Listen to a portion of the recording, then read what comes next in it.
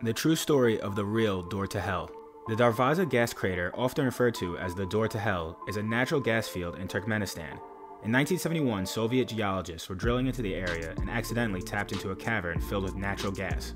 The ground beneath the drilling rig collapsed, creating a large crater.